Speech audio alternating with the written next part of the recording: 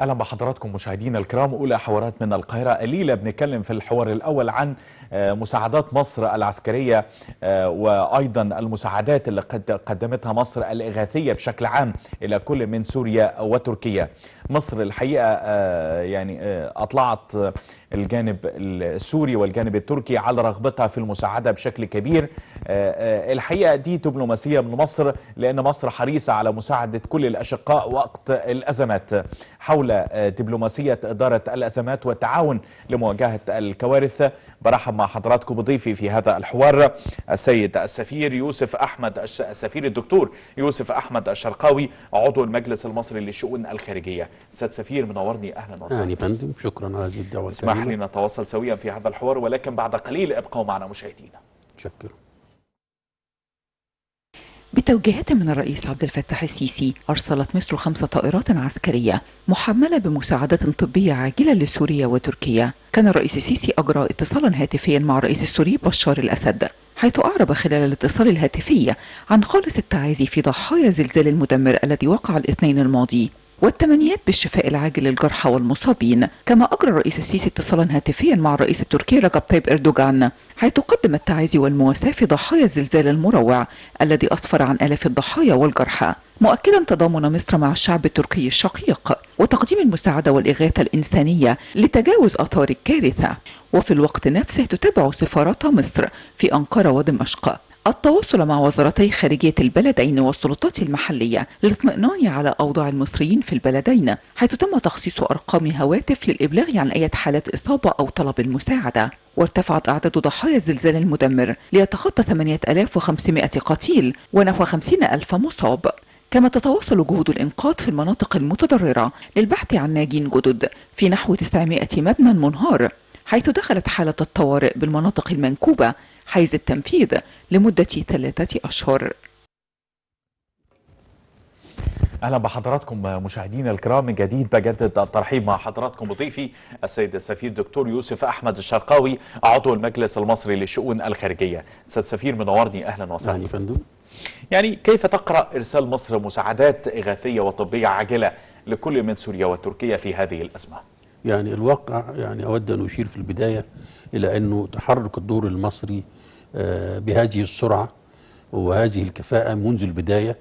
يوضح أن محورية الدور المصري والدور الريادي المصري في المنطقة العربية ومنطقة الشرق الأوسط بشكل خاص في هذه الأزمة. وعلى الجانب الآخر أيضا عندما نتحدث عن الجانب الدبلوماسي هناك أنواع متعددة من الدبلوماسية يعني الدبلوماسية البرلمانية الثقافية الاقتصادية وما شكل ذلك. ما أسميه التحرك المصري في هذا الشأن أستطيع أن أسميه الدبلوماسية الإنسانية. آه وده بيؤكد على البعد الإنساني في سياسة مصر الخارجية وهنتعرض له بعد ذلك. آه الدبلوماسية الإنسانية كانت من البداية واضحة في تحرك السيد الرئيس عبد الفتاح السيسي إنه آه اجرى اتصال مع مع القيادة في البلدين الرئيس ال ال التركي ثم الرئيس السوري وقدم خالص التعازي وأيضا وجه وأبلغهما بالتوجيه بالمساعدات الإنسانية. لما نشوف كمان التحرك المصري في هذا الشأن هنلاقي إن في منظومة في مصر تحركت في هذا الإطار. طب ما هي مؤشرات هذه المنظومه؟ اولا كان في اولا تصريح من فضيلة الإمام الأكبر شيخ الأزهر إنه إنه دعا المجتمع الدولي إلى تحمل مسؤوليته وطبعا خالص العزاء لاسر الضحايا هنا وهناك. أيضا في هذا الإطار كان الدكتور شوقي علام اللي هو مفتي جمهورية مصر العربية ورئيس دار الإفتاء العالمية مجالس الإفتاء العالمية تحرك في هذا الاتجاه أيضا. أيضا في يكمل ذلك وفي منتهى الأهمية في هذا الإطار هو مباحثات أو تواصل السيد الوزير وزير الخارجية سامح شكري مع نظيره اللي هو وزير الخارجية التركي الحقيقة كان اتصال مهم لأنه هو أكد على وقوف مصر مع حكومة مصر مع حكومة تركيا ومع حكومة سوريا أيضا في في ظل هذه الأزمة التي نجمت عن هذا ذلك الزلزال المدمر. فده بيؤكد إلى جانب بقى طبعا تناول الإعلام المصري قناة النيل للاخبار كل القنوات ال- الحكومية المستقلة ال- ال- الإعلام التقليدي الإعلام الرقمي. كان الحقيقة كله في اتجاه دعم معنوي كبير للجانب السوري وللجانب التركي. آه، ده بيؤكد يعني قد إيه إن إحنا حتى لو في اختلافات في الرؤى مع هنا أو هناك لكن في بعد إنساني قوي. وده اللي يعني سيادتك يعني يعني اسمح لي إن أنا أشير إليه أيضا. باختصار لأن هذا ليس موضوع آه، في هذه ال- ال- ال- ال- ال- اللحظة ولكن ده بيؤكد الدبلوماسية الإنسانية المصرية أو البعد الإنساني في هذا الإطار من علاماته إيه؟ أنه نجد في مصر حاليا ما يقرب من 9 إلى 10 ملايين إنسان مقيمين في مصر ولهم صفات مختلفة هؤلاء المقيمين إما أنه هو بصفة لاجئ وإما بصفة ضيف وغير ذلك. آه، كل هذه يعني أو كل هؤلاء المقيمين يعيشون في مصر يعيشون كأنهم في بلادهم. يعني وطن الثاني هو جمهورية مصر العربية.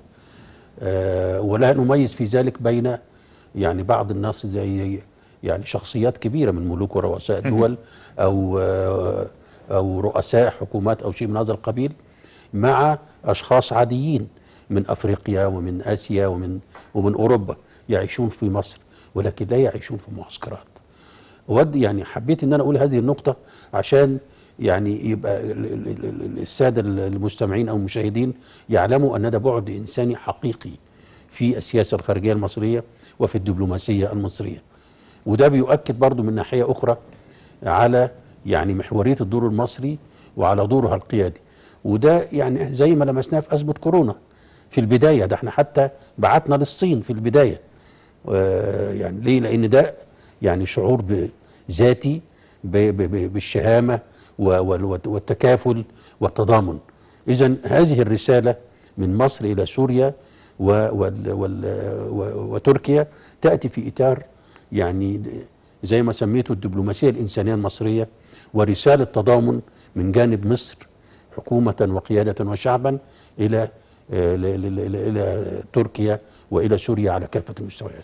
طيب سيادة سفير يعني بعيدا عن الدبلوماسية الإنسية الإنسانية المصرية هنرجع عليها تاني زي ما سيادتك أشرت ولكن في العرف الدولي وقت الأزمات يعني كيف تتعامل الدول مع بعضها؟ البعض حتى وإن كانت بينها خلافات. يعني هو المفروض يعني طبعا ليس هناك قواعد عامة ومجردة في هذا الإطار تمام.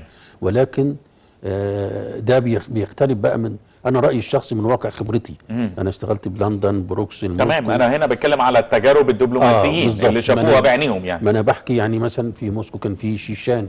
يعني بتلاقي في أزمات في كل دولة آه. أزمات كبيرة يعني. آه فمن واقع خبرتي الشخصية ده بيختلف من دولة إلى أخرى. ولكن زي ما إحنا بنقول حتى على المستوى الإنساني معادن الناس بتظهر في الأزمات. وهذا فعلا بالنسبة للمصريين. عشان أنت حتى تلاقي حتى في المنطقة العربية عشان ده بير- بير- بيرجعنا لقيم العروبة القيم الجماعية صحيح. الجميلة صحيح. اللي إحنا بنفخر بيها مسلمين ومسيحيين في المنطقة العربية إنه كل الناس نهضت لما شافوا هذه الأزمة لكن إحنا ما يميزنا أكتر ال- الشهامة الموجودة في طبيعتنا في دمائنا إن إحنا تحركنا على طول لكن برضو لا- لا- لا- لابد أن نعطي كل ذي حق حقه تحرك أيضا البعض في المشرق والمغرب كل تحرك يعني السعودية الإمارات آه، قطر آه، الجزائر. الجزائر. الجزائر أول دولة من أوائل الدول اللي بعتت. صحيح. واليوم أيضا المنظمات غير الحكومية في الجزائر في وفد رايح برئاسة الدكتور أحمد بن داود رئيس اللجنة الإعلامية آه، في رابطة الوحدة العربية. دي رابطة جديدة منشأة تفعيلا لمؤتمر الجزائر. فقال لي أنه سوف يسافر مساء اليوم إلى سوريا على رأس وفد من المنظمات غير الحكومية الجزائرية آه، تفعيلا لما أرسلوه قبل ذلك يعني متابعتي لكل الشأن العربي من المحيط إلى الخليج ده بيبين أن القيم الجماعية العربية قيم آه، يعني جميلة وقوية وممتدة عبر التاريخ صحيح. وإحنا و- وهذه الأزمة ال- ال- الكارثية طبعا ويعني حبذا لو إحنا برضو في هذه المناسبة نقدم خالص تعازي لل- لكل أسر الضحايا في تركيا و و و و و وسوريا. وربنا إن شاء الله يعني يشفي كل المصابين. إنه إن هذه القيم الجامعية نستثمرها للحفاظ على الروح الطيبة الموجودة في في في في جسد العروبة. صحيح. واستنهاض الهمم آه، فيما يتعلق بهذا الهمم الجانب تحديدا. نستنهض الهمم في إطار عملية التقدم. إحنا شفنا قد إيه أزمة كورونا. كانت صعبة على العالم أجمع. وكاشفة. وكاشفة. وكاشفة بقى للمعادن. صحيح. لعلك لا- حضرتك تتذكر دون ذكر أسماء لما دولة كان معدي عليها بعض المستلزمات في كذا صحيح. قال لك لا إحنا إحنا أولى. وخدوها ما راحتش للدولة الثانية في أوروبا. إحنا ما أعتقدش في إحنا في العالم العربي نعمل هذا. الج- القيم العربية آه، ال- ال- الإسلامية والمسيحية قيم جميلة ورائعة وحبذا نستثمر هذه ال- ال- ال- الأزمة وتكون أيضا تنهض أو تستنهض وتبقى عودة بقى للروح العربية فعلا الأصيلة وللتحرك إلى الأمام يعني ماذا حدث للشعب السوري؟ يعني الأزمة لا- عندما نرى هنا وهناك سوريا يعني حط يعني هتحطم في الشعب السوري إيه تاني؟ يعني بعد الزلزال هذا الزلزال المدمر وال وال وال والنكبة الكبيرة التي أصابت يعني حبذا تكون فرصة أيضا للإخوة في سوريا إنه يبقى في سوري سوري لحوار و و و وأيضا آه، يعني في رايي الشخصي يعني يبحثوا حل لموضوع العقوبات على سوريا لأن تدخل المساعدات إزاي؟ وهتضمن إن المساعدات دي راحت هنا ولا ما راحتش هنا إزاي؟ فكل هذا يجب يعني انه هذه الأزمات ربما إن إحنا نستخدم أو يعني نحاول آه، نجد فيها الجانب الآخر. اللي ممكن من خلاله نحل كل المشكلات يتم الموجوده إعادة التفكير نعم. فيما هو قائم من أزمات وواقع. الأزمات تحديدا يعني بالظبط يا فندم أستاذ سفير يعني إلى أي مدى بترصد معي آه، وده مجرد ملاحظات موجودة حالة ارتياح غير عادية من المصريين لاتصال الرئيس السيسي بالرئيس آه، بشار الأسد. وكان في مشاعر فياضة من كل المصريين تحقيقا آه، حقيقة فيما يتعلق ب إحنا كنا بلد واحد وفي علاقات تاريخية متواصلة مع مع سوريا.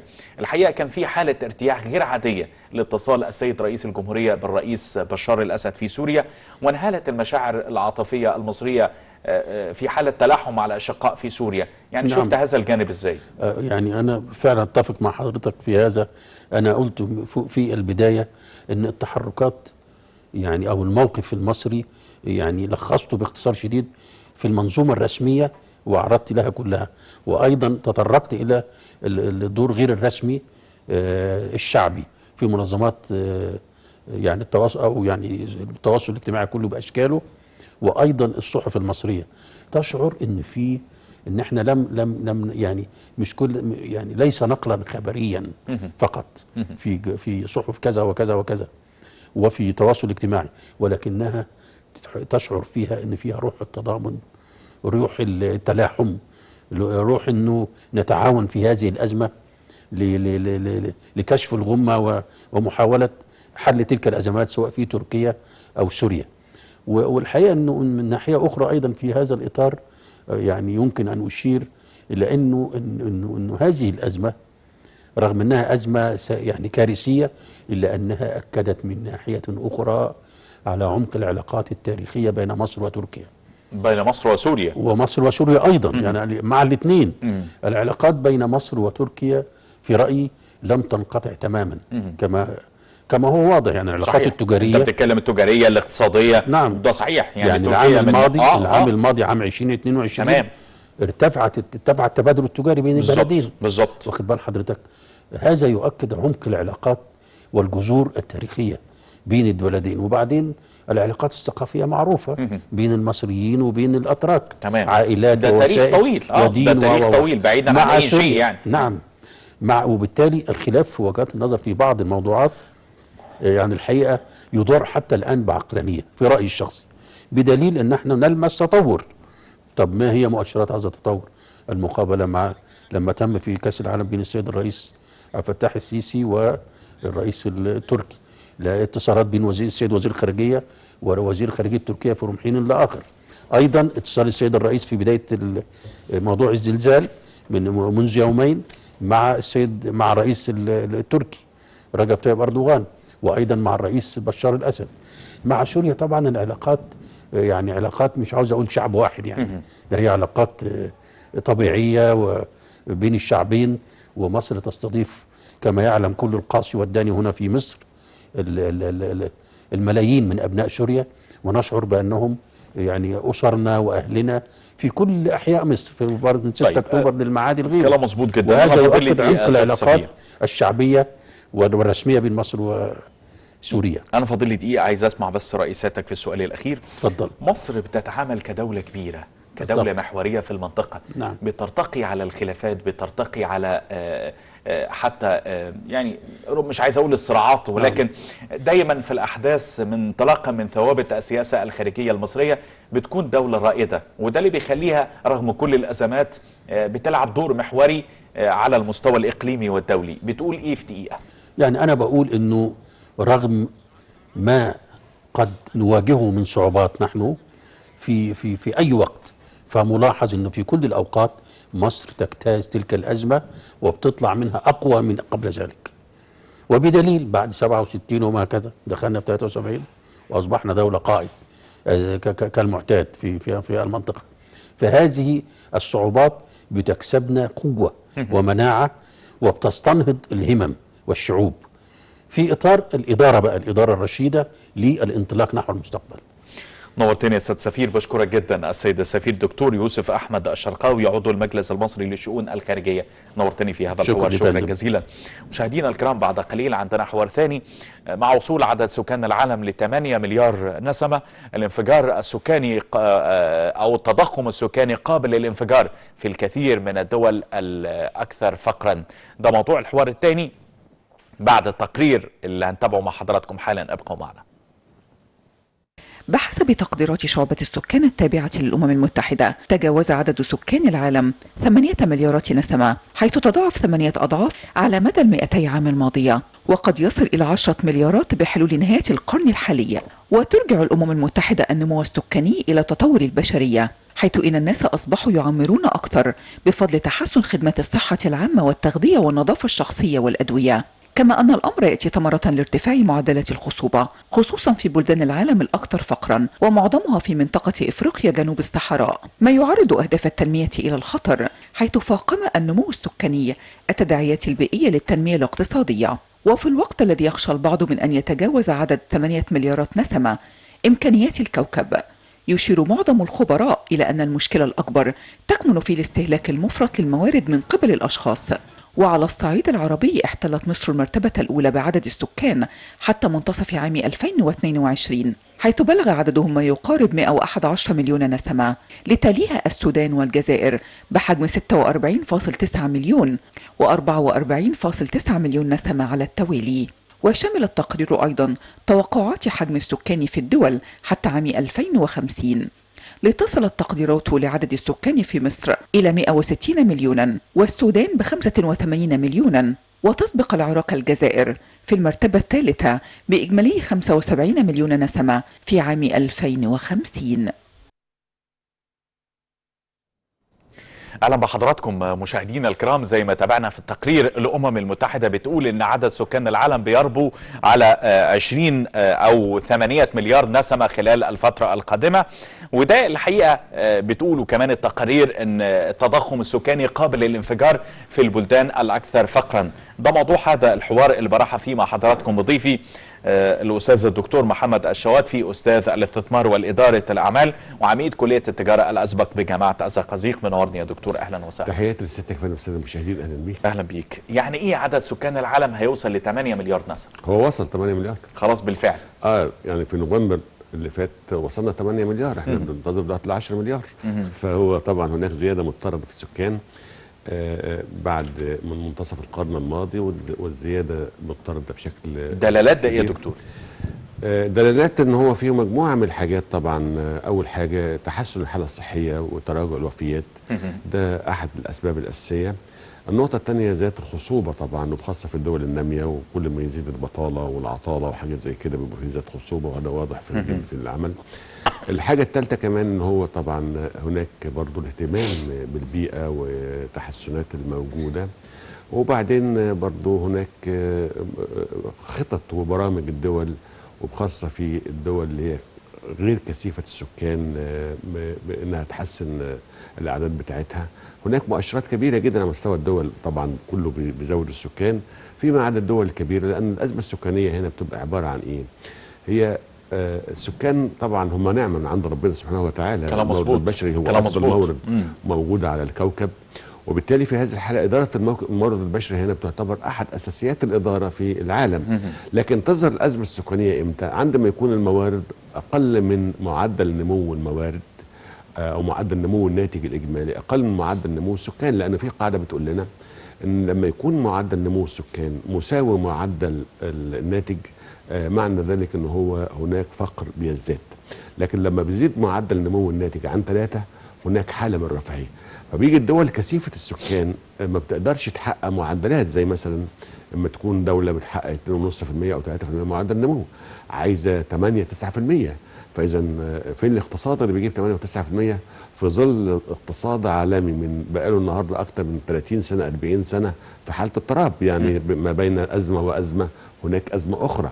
ففي هذه الحالة بتعتبر هنا زيادة السكانية هنا آه، أحد العوامل المهددة للنمو والمساعدة على انتشار الفقر.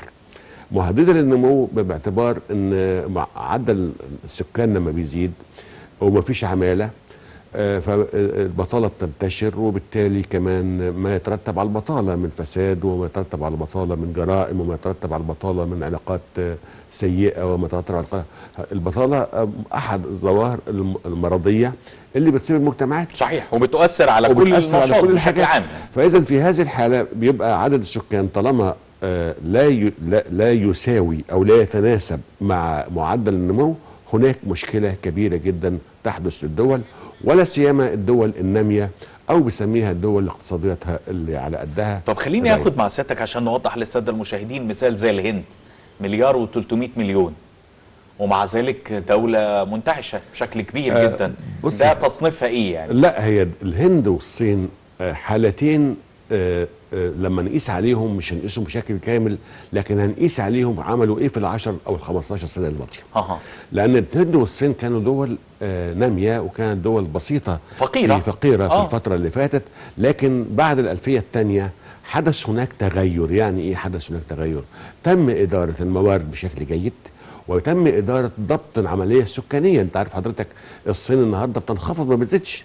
يعني الصين النهارده معدل انخفاضها النهارده عندها 84 مليون انخفاض في معدل نمو السكان يعني حوالي 2.4 من 10% آه، بالسالب. آه، فهناك دول أخرى بقى بتزيد فإذا هناك آه، حصل ال- ال- المورد السكاني ده بيدار. وزي ما بتدير المورد السكاني زي ما بتدير أي مشكله أي مورد في العالم آه، بتدير الأموال بتدير مورد سكاني ده مورد بشري هو أحد الموارد المساعدة في التنمية. فإذا أدرت الصين أدركت أن هناك أزمة سكانية كبيرة وإنها مش قادرة إن معدل النمو السكاني بيأكل ال- بي- بي- بيأكل بيأكل عندها معدل النمو الناتج بتاعها فاستطاعت أن تضع قوانين واستطاعت أن آه، تنشر ثقافة إن هو عدم الإنجاب فاستطاعت إنها تتحكم في الأزمة السكانية عندها ودي ما كان مستحيل تطبقها من 20 30 سنة اللي فاتوا كان مستحيل عليها. لكن حصل هناك حاجات فهناك الإرادة موجودة. الهند كمان حصل هناك زيادة في معدل النمو الناتج ال- الإجمالي بتاعها نتيجة التحول في نوعية الاقتصاد والتحول في نوعية استخدام الموارد. ليه؟ لأنه هو دايما خلينا نتفق على إن الفرق بين الدول المتقدمة والدول الغير متقدمة أو الدول التي تحدث تقدم والدول التي هو فرق في الإدارة. صحيح. يعني إيه الإدارة؟ إدارة كل شيء بقى آه، اللي إيه الموارد؟ البشرية في يعني إيه الإدارة يا فندم؟ يعني إنك تصنع رؤية لبكرة وبعدين تسخر كل الموارد الموجودة دي عشان توصل لبكرة. صح. فاذا في هذه الحالة آه، دايما نقول في القاعدة كده إيه ما يهمنيش أنت إمكاناتك إيه النهارده. آه، أو لكن الواقع اللي فيه الواقع إيه؟ انت أنت جاي عشان تغير الواقع. الإدارة هي المسؤولة أو هي العلم المسؤول عن تغيير الواقع. للأفضل بالتأكيد. للأفضل، آه. أو بمعنى آخر هو العلم المسؤول عن تغيير المعادلات لتحقيق أحلام جديدة. ليه؟ ترجمة. لأن ما حدث في الماضي يصعب أن يحدث في المستقبل. وبالتالي هنا القائد أو المدير جاي عشان يغير آه، يغير الحاجات اللي موجودة تحت إيده ده عشان تتوائم مع ما سيأتي في المستقبل. ومن هنا عنده حاجتين عنده استشراف واستكشاف المشكلة والبحث عن فرص. ومن هنا ما أصبح النهارده ما نقدرش نقول والله في دولة ما عندها فلوس ودولة ما عندهاش فلوس. لا إحنا دولة عندها فرص وعندها أفكار ودولة ما عندهاش فرص وما عندهاش أفكار. صحيح تعظيم الفرص والأفكار الدولة اللي عندها فرص وأفكار وبتديرها كويسة بتقدر تجيب أموال حتى من بره. طب عشان نكون واقعيين بالتطبيق على الحالة المصرية إحنا مش أكثر فقر ولكن إحنا من الدول النامية. يعني إلى أي مدى التضخم السكاني في مصر بيؤثر على معدلات التنمية بشكل أو بآخر؟ خليني أبدأ من بدري شوية. آه، الرئيس عبد الناصر آه، توفى الله يرحمه وسابنا 30 مليون نسمة. والرئيس مبارك سابنا 8 الرئيس الس- السادات سابنا 48 ومبارك سابنا 83 وإحنا النهارده 103 معنى ذلك إيه؟ على نفس المساحة أو الزيادة المساحية كانت قليلة جدا. فاذا معنى ذلك إنه بيقول لي كده إن أنت عندك فائض سكاني في الدولة المصرية يزيد عن 70 مليون نسمة. وبالتالي هذا الفائض اللي أنت جبته ده 70 مليون ده هو على نفس المساحة اللي كانت موجودة في ال 30 مليون. ومن هنا تبدأ المشكلة في المصرية شديده التعقيد. بمعنى إن أنت الكثافة السكانية اللي كانت موجودة على 30 مليون هي الكثافة أو المساحة اللي كان موجود عليها 30 مليون هي نفس المساحة بزيادة صغيرة 2% 1% بكام؟ يعني لما يتع... لما يزداد معدل نمو السكان ثلاث مرات خلال 60 سنة أو 70 سنة ومساحتك تزيد 2% اذا معنى ذلك إن هناك مشكلة كبيرة جدا. ترتبت في إيه؟ ترتبت من غير ما حد يجي يقول لي كده إن هو أنت عندك معدل نمو السكان النهارده النهارده عندك معدل النمو السكاني 2.1 من 10 أو 2.2 من 10 ومعدل نمو الناتج الإجمالي 3.2 من 10 إذا مهما جبت من معدلات تنمية في ضوء هذا المعدل المواطن في الشارع ما يشعرش. لأن القاعدة بتقول لي كده لما يبقى معدل نمو الناتج المحلي بتاعك قد معدل نمو السكان بتاعك ثلاث مرات يبدأ الراجل اللي في الشارع يحس له الله ثلاثة ثلاثة يا فندم آه. يعني أنا دلوقتي أقل معدل تنمية لازم اتنين ستة. لا بص أقل معدل تنمية النهاردة عشان الراجل اللي في الشارع ده يحس بيها ويقول الله ده بقينا كويسين ويحس إن الدنيا كويسة بالنسبة له ستة وستة من عشرة طب هو ما برضه المواطن هيسأل سيادتك طب ليه ما نحققش معدل تنمية كده؟ إيه المشكلة إن إحنا نوصل لده؟ آه، معدل التنمية بقى عشان يتحقق عندنا حاجات كتيرة جدا أول حاجة إنك تقدر تستغل الموارد أنت النهارده آه، آه، آه، يعني من الدول اللي هي آه، خلال الستين سنة اللي فاتوا ما كنتش بتستخدم مواردك مواردك استخدام أمثل.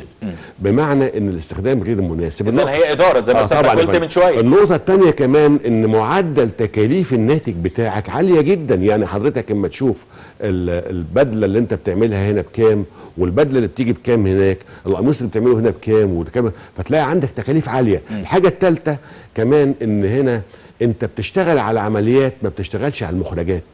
فاذا كل العوامل دي حصل عندنا بقى مشاكل كتيرة جدا في الاقتصاد القومي أو الانفاق زاد عن الإيرادات. والمشاكل اللي موجودة والعجز وغيره وغيره. أثر على في إيه؟ أثر على حاجات إن إحنا النهارده بقالنا أكتر من 40 سنة بنحل مشاكل العجز في الميزان التجاري وبنحل مشاكل العجز في ميزان المدفوعات وما خدناش خطوة واحدة. ليه بقى؟ لأن إحنا بنشتغل على العمليات. دايما عندنا يقول لك المخرجات أنت عايز إيه؟ وابدأ من المخرجات بتاعتك عشان تطور عملياتك. والغلط مش مشكلة. يعني هو حضرتك الأخطاء ضره صحيح. الأخطاء بس هو في هذا. عدم عدم تكرار هذا العمل آه اذا المشكلة السكانية النهارده تعتبر أم مشاكل الدولة المصرية مشكلة في التعليم التكدس الكبير في الصحة المستشفيات في المساجد قد إيه في الكنائس قد إيه في الشارع قد إيه المرور قد إيه. وبالتالي تصبح قضية السكان. هنا القضية الأولى التي يجب أن تتعامل معها الإدارة المصرية أو الدولة المصرية عشان تقدر تحل مشاكلها. وهنا عندهم ثلاث مراحل أو ثلاث استراتيجيات. استراتيجية أولى وهو إزاي نقلل معدل النمو وده هيرتبط بإن الناس اللي هو داخلين جواز جديد أو العمل ده إزاي نحط سياسات ترشد ده. النقطة الثانية أنت عندك 100 مليون ده لازم تستخدمهم استخدام أمثل بمعنى إنك لازم تعيد تأهيل هؤلاء الناس بما يتناسب مع التنمية ويتناسب مع خطط التنمية. والخطة الثالثة كمان إن هو لازم كده تقول لي إن هو أنت ليه في عندك دالة معطلة. دالة الإنتاج عايزة دالة استثمار وعايزة دالة مدخرات. فإذا في هذه الحالة لازم يكون هنا داله الإنتاج بتاعتك هي النقطة اللي بتوفر لك لأن داله الإنتاج عندي كام؟ كام فرصة عمل؟ عشان هيطلع عندي كام كام واحد هيشتغل. إذا عيني هنا عيني على فين؟ عيني على الاستثمار وعيني على الإنتاج. غير كده إن لم يكن هناك اهتمام بالاستثمار والإنتاج ستظل المشكلة معقدة. وعليه كده إيه؟ يقول لي إن أسرع حاجة لازم تشتغل عليها النهارده في الدولة المصرية هي داله الإنتاج. داله الإنتاج يعني إيه؟ تفتح مصانع تفتح مزارع وداله الإنتاج معناها عايزة داله استثمار صحيح. هجيب فلوس قد إيه؟ وفلوس منين؟ وهنا يقول لي داله الاستثمار تجي لك منين بقى؟ إيه المصادر التمويل اللي هتعمل بيها وهتيجي تشتغل فيها؟ عشان كده أقول لك إيه؟ إن مفيش حاجة اسمها مشكلة دين في حاجة اسمها مشكلة إدارة الدين. مش عيب إنك أنت تكون مديون. ولا عيب على الدولة النهاردة أمريكا أكبر دين موجود في العالم لكنه يدار إدارة كيف؟ الدين لما يجي هتشغله إزاي؟ يبقى أصبح هنا قضية السكان عملت عندي عدة حاجات. أول حاجة قضية 30 سنة. في ال 30 سنة فاتوا قضية الموازنات ال- ال- ال- ال- الخلل في الموازين التجارية والموازين المصرية كلها المدفوعات وغيره. اتنين عملت خلل في الإنتاج لأن كمان زودت الاستهلاك والاستهلاك كمان بيزيد بمعدلات أعلى من الإنتاج. فأدى إلى زيادة في التضخم وزيادة في الأسعار. الحاجة الثالثه كمان عشان نتيجة زيادة التضخم زيادة ال ال الاستهلاك على الإنتاج زودت معدل الواردات فأصبح أنت بتجيب النهارده بأسعار مختلفة ودام زودت معدل الواردات خفضت عندك الصادرات وبالتالي هنا نتيجة خفض الصادرات وزيادة الواردات انخفضت قيمة العملة. قيمة الجنيه. فبالتالي في هذه الحالة وضعت الدنيا كلها في حالة. ترجع الازمه فين؟ الازمه في أزمة السكان. نورتني يا دكتور. تحياتي لسيادتك الأستاذ. ربنا الدكتور. محمد الشواتفي أستاذ الإستثمار والإدارة وإدارة الأعمال وعميد كلية التجارة الأسبق بجامعة الزقازيق نورتني شكرا جزيلا. شكرا جزيلا. كده مشاهدينا الكرام وصلنا مع حضراتكم لختام فقرات من القاهرة الليلة. الأسبوع القادم نلتقي بإذن الله في أمان الله.